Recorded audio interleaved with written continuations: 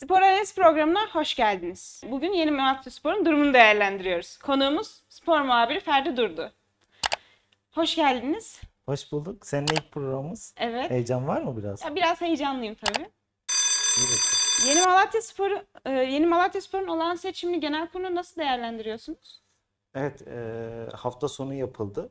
E, tabii herkesin beklentisi iş insanı Kamil Göksu'nun tek e, listeyle girip e, Yeni Malatyaspor'un yeni kulüp başkanı olacağıydı ama olağan genel kurul öncesi çok hareketli günler geçirdi takım. E, bir aday daha çıktı. Daha sonradan Kamil Göksu'nun adaylıktan çekilebileceği konuşuldu. Mevcut kulüp başkanı Adil Gevrek'in yeni bir listeyle yeniden aday olacağı konuşulmuştu. Ama çok farklı, e, tiyatrolarla dolu, senaryosu bol bir olağan genel kurul izledik. İş insanı Kamil Göksu bir anda adaylığını çekti. Alelacele bir liste hazırlandı ve hiç gündemde olmayan, kongrede olmayan, kongreye bile gelmemiş olan Aziz Ayboğa e, kulüp başkanı seçildi. Yani dolayısıyla e, herkesin bir beklentisi vardı bu kongreden. Ya kayyuma kalacağı yönünde ya da mevcut kulüp başkanı Adil Gevrek'in yeniden aday olacağı beklentisi çok yüksekti. Ama dediğim gibi çok farklı bir tiyatro ve senaryo izledik. E, iş insanı Kamil Göksu yaptığı konuşmanın ardından divan heyeti bir süre ara verdi. Biz e, listede değişiklik olacağı ifade edilirken bir anda Kamil Göksu'nun adaylığını çektiğini öğrendik. Dolayısıyla da Aziz Ayboğa e, başkanlığında oluşan yönetim kimseye samimi gelmedi. E, çünkü bence birçok kişinin e, listede ismi geçen birçok kişinin e, bu listeden bile haberi yoktu. Yönetimde yer aldıklarından bile haberi yoktu. Yani dolayısıyla e, Malatya'nın daha önceden efsane Malatya Spor'da yaşamış olduğu faksla başkan seçme mevzusu bir anda akıllı telefonla başkan seçmeye döndü. Yani sadece teknolojik olarak bir değişim oldu. Malatya aynı kaderini yaşadı, aynı senaryoyu yaşadı. Böyle bir olan genel kurul yaşadık. Peki genel kurulda işte seçimden çekilmeler oldu. İşte Aziz Ayboğa seçime katıldı. Bunu biraz daha detaylı olarak açıklayabilir misiniz? Bu aslında bir anlamda beklenen bir durumdu. Ama şöyle Aziz Ayboğa başkanlığında değil. Kamil Göksu'nun çekileceği konuşuluyordu ama Kamil Göksu çekildikten sonra mevcut kulüp başkanı Adil Gevrek'in bir liste sunacağını bekliyorduk biz. Aziz Ayboğa e, piyangodan çıktı. Dediğim gibi genel kurula gel, gelmemiş, e, salonda bulunmayan bir isim bir anda kendisini başkanlık listesinde buldu. Dolayısıyla e, bu çekilmeyi doğal olarak karşılıyorum. Çünkü 355 milyon TL gibi bir bo- borç var. E, ben iş insanı Kamil Göksu ve oluşturduğu yönetim kurulundaki isimlerin bunu kaldıramayacağını biliyordum. Çünkü m, hazırladıkları bir hayali bütçe vardı ama bu bütçe çok da gerçekçi gelmedi açıkçası bana. Dolayısıyla kulübün yapısından bir haberler.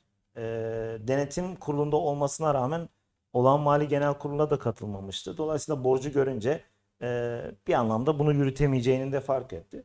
Çünkü şöyle bir ifadede bulundu. İlk dedi ki 10 sonra 15 gün benden kimse para istemesin ama böyle bir durum yok. Yani oraya kulüp başkanı olarak olarak gelecek ismin ertesi gün kulübe para vermesi gerekiyordu. Çünkü acil para verilmesi gereken e, şeyler var. Özellikle mesela Benjamin Tette şu anda 3 milyon 800 bin euro gibi bir teklif alıyor. Bu oyuncunun takımda kalabilmesi için 5 milyon TL gibi bir rakamın ödenmesi gerekiyor acilen. E, takım kamp çalışmalarına başladı. Takım toplanıyor. E, bu oyunculara para verilmesi gerekiyor. Takıma yeniden gelmek isteyen oyuncular var. Bunların parasının verilmesi gerekiyor. Ya sadece bugün transfer tahtasını açıp bir şekilde ödeme yapayım derseniz işte e, 100 milyon TL sıcak paraya ihtiyaç var. 100 milyon TL yani 6 milyon eurodan bahsediyoruz. Çok küçük rakamlar değil. E, bunu karşılayamayacağını orada bence anladığı için çekildi.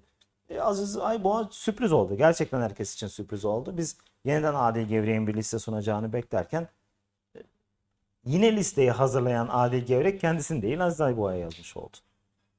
Peki geçtiğimiz günlerde Aziz Ayboğa yeni bir açıklama yaptı. Yeni bir olağanüstü seçim Evet. kurulu toplantısı yapacağını söyledi. Bunu, bunun hakkında ne düşünüyorsunuz? O da beklediğimiz bir durumdu açıkçası ama ben bir, bir buçuk aylık bir süreç içerisinde olur diye düşünüyordum. Ee, buradaki esas tehlike şu. Yani Aziz Ayboğa'nın zaten istifa edip devam etmeyeceğini biliyorduk. Çünkü biraz önce de söylediğim gibi yönetim listesinde yer alan birçok isim o listede yer aldıklarını bilmiyorlardı.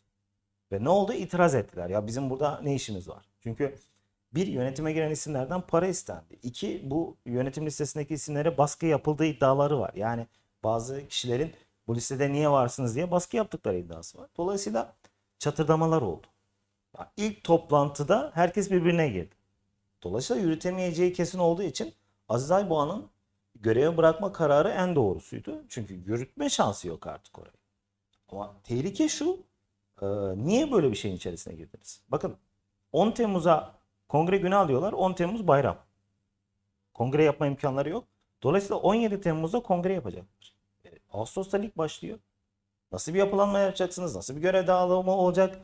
E, sonrasında ne yapacaksınız? Takım Malatya'da toplantı kamp çalışması yapıyor ama Malatya'nın e, takımın ikinci etap kamp çalışması programı belli değil. Takım toplandı çalışıyor ama ilerisi yok. Dolayısıyla ortada bir yönetim de yok. E tahta açılacak mı? Benjamin Tete satıldı parası ne olacak?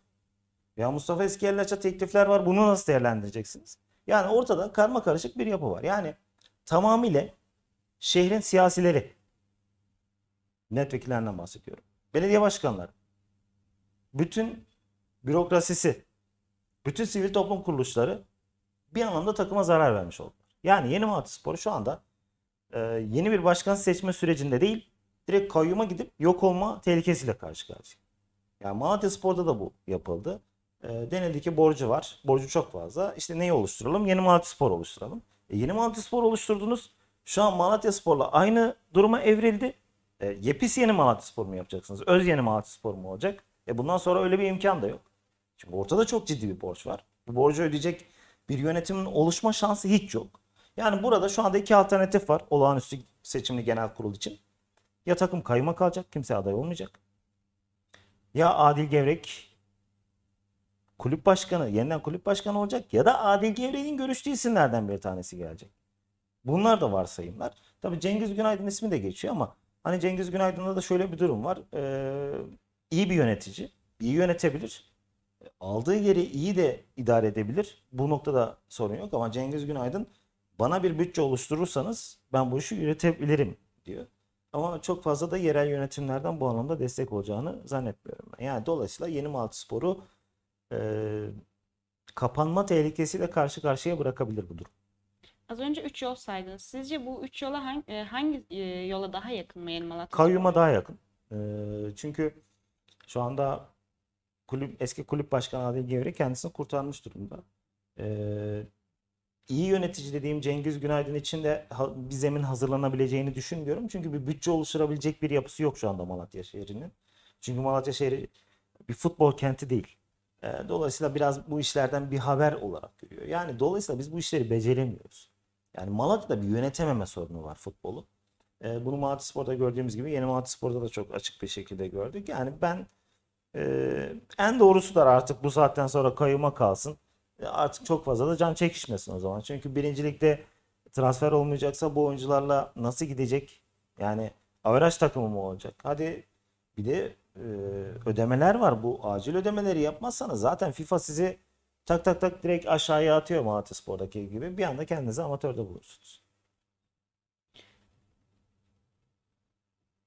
Ya dediğiniz gibi Adil Gevrek'in yeni aday süreçleri e, aday ya kendisi aday olacak ya da e, onun e, şey görüştüğü kişiler aday olsun dediniz. büyük büyük ihtimal öyle bir durum oluşabilir. Yani şu anda onun görüşmelerini de yapıyor olabilirler. Ee, ne olur? Hani kayyuma kalmasın, bizim dönemimizdeki hesaplar incelenmesin dedikleri için. Yani takımı düşündükleri için değil. Kayyuma kalırsa bu, bu dönemki hesaplar incelenecek. Dolayısıyla biraz da eski yönetimde kendisini kurtarmanın peşine düşecektir.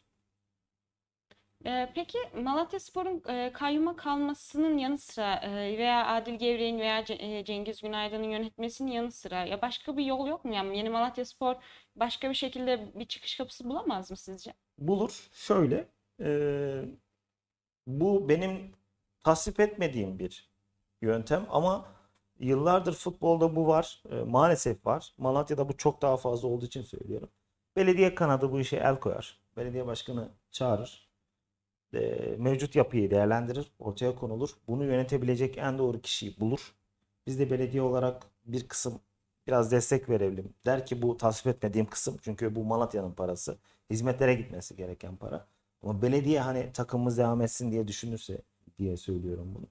Böyle bir yapı oluşturulabilirse e, belki devam eder. Belki bir şansı olur. Ama Malatya'dan kopuk bir yönetim oluşturalım derlerse bunun imkanı yok. Çünkü böyle bir parayı ortaya koyabilecek kimse yok. Yani ne olacak? Sen bir kasaya e, acilen bir 25-30 milyon para koyman lazım. Transfer tahtasını açacaksan 100 milyon TL gibi para olması lazım. Ne demek? Yani 130 milyon TL acil para demek bu.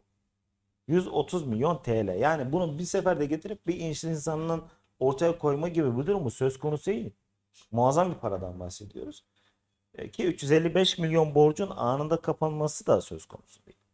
Yani ne olacak? Belediye kanadı. Bu da muhatabı Malatya Büyükşehir Belediye Başkanı Sayın Selahattin Gürkan'dır. Çağırıp bu yapıyı konuşacak. Başkan adaylarıyla görüşecek. Eski yönetimle görüşecek. Nasıl kurtulabilir? Ne olması gerekir? Kim biraz daha bütçe sağlayabilir? E, bütçe sağlayabilen varsa onlarla görüşülür. Geniş bir e, aday kitlesi içerisinde düzgün bir yönetim oluşturularak yoluna devam edebilir. Ama o noktada da bütün hesap kitabın, bütün incelemenin tamamıyla belediyenin elinde olması gerekir. Çünkü sivil yönetim bu anlamda başarılı olmadı Malatya'da. Hani e, şey vardı daha önceden belediye destekli, daha doğrusu tamamıyla belediyenin noktasına giden bir yeni Malatyaspor vardı. Sonrasında sivil yönetim oluştu. Sivil yönetim bu işi tamam bir noktaya kadar getirdi ama sonrasında bu işi pek başaramadılar açıkçası. Ve dolayısıyla da böyle yüksek bir borç oluştu. Yani belediye kanadı bu işe el atarsa bir şeyler düzelebilir diye düşünüyorum. Anladım. Peki Malatyaspor'un e, kan- yeni Malatyaspor'un kapanması söz konusu dediniz. Ya kapatılır dediniz bu Evet. gidişle. Peki bunun yanı sıra yeni bir takım oluşturulur mu? Ya da geriden gelen işte ilçelerimizde Arguvanspor başarılı mesela onun gibi ya da işte ikinci ligden, üçüncü ligden yeni bir şey alınır mı? Takım e, lige çıkartılmaya çalışılır mı? Ona destek verilir mi? Evet, Malatya'nın huyu e, bir takım kötü gidiyorsa o takımdan vazgeçip yeni bir takım oluşturuyorlar. Bu da muhtemel e, böyle bir proje de olabilir. Yani Argon Belediyespor şu anda 3. lige çıktı. E, tabii Yeşilyurt Belediyespor üzerinde de düşünülebilirdi bu ama o bölgesel amatör futbol ligine düştüğü için düşünülmez. Argon Belediyespor şu anda borçsuz bir kulüp. E, sıfırdan bir kulüp oluşturulmak istense evet 3. ligde bir kulüp var. Ama süreci düşündüğünde 3. lig, 3. ligden 2. lig, 1. lig ve Süper Lig yani harcanacak para hemen hemen aynı noktaya gelir. Ee, hani oradaki avantaj ne? Borçsuz bir kulüp desteklenip yeniden bir e, takım oluşturulabilir. Ama 1. ligde bir kulübünüz varsa e, en azından bu iş bir 150 milyona falan da çözülebilecekse hızlıca bunun çözülmesi gerekir. Argon Belediyespor'da bir pilot takım olarak 3. ligden 1. lige çekilebilir o noktada. Yani ne olur? Sonrasında kader yani kendi kaderini kendi tayin etmiş olabilir. Siz desteği verirsiniz, birinci lige getirirsiniz. E, pilot takım olur. İsterse Süper Lig'e çıkacak bir yapı oluşturulur. isterse de birinci ligde devam edecek bir yapı oluşturulabilir. Ama ben öncelikle e, elinizde böyle bir imkan varsa yeni Malatyaspor'a yatırım yapılarak e, en azından bu seneyi kurtarıp gelecek sene daha yarışmacı bir takım oluşturabileceğini düşünüyorum. Anladım. Teşekkür ederim. Ben teşekkür ederim. Spor Analiz programının sonuna geldik. Bir sonraki programda görüşmek dileğiyle.